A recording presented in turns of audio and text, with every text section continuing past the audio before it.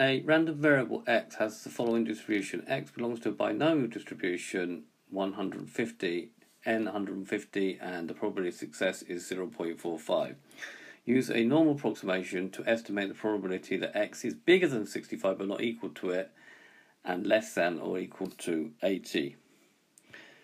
So if x is binomially distributed np, then x can be approximated by x belonging to the normal distribution where the mean of the normal distribution is np, n times p, which is the mean of the binomial, and the variance is np times 1 minus uh, p. In some books that's written as npq, q being the probability of not succeeding.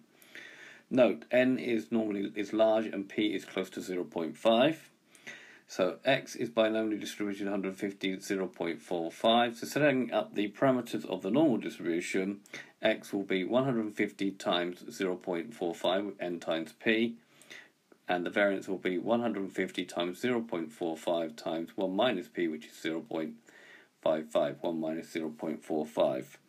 So x will be uh, normally distributed 67.5 now, you're strongly recommended to write the variance as the square root of 37.125 squared. Now, the reason for doing that is you're going to have to standardize using the normal variable, so you'll need the standard deviation, not the variance.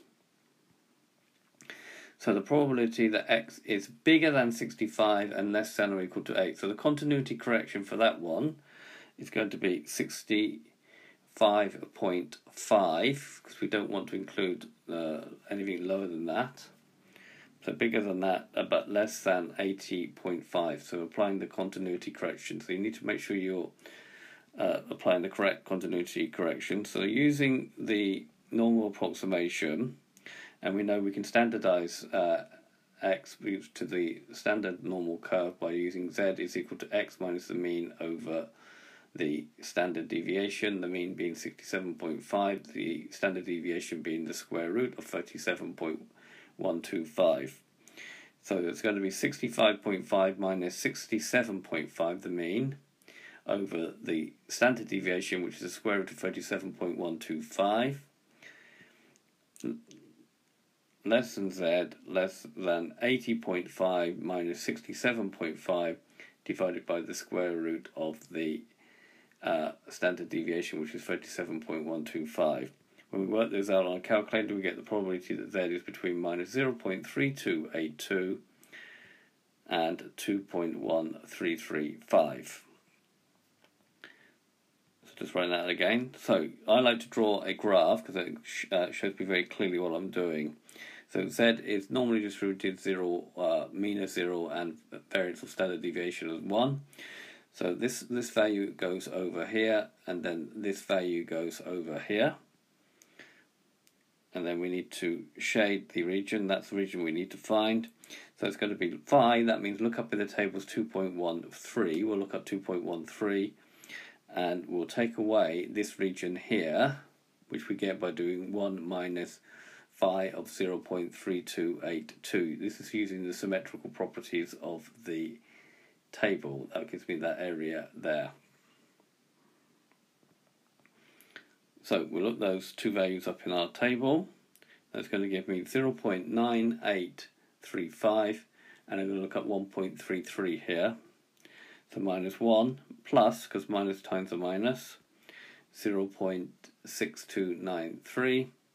So it gives me 0.6127 which gives me 0.61323 significant figures. Now, if we look at that, now modern software will actually calculate that value for us. So if we go to the probability calculator in GeoGebra, and you can get that by in the view menu of uh, the opening document in GeoGebra, set this to binomial. You have to pull this screen up, set this n to 150 and p being 0.45 now we want bigger than 66 because we're not going to include 65. That's what these will actually include equal to.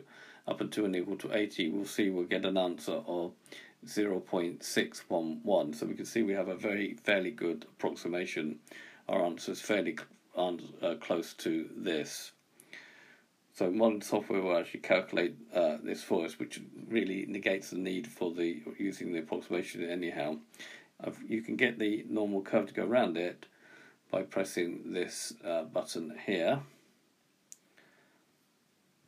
So using GeoGebra, we get that, and then we get the probability of x is 65, bigger than 65, but less than or equal to 80. This is why we use 66, is 0.611, so it's a fairly good approximation.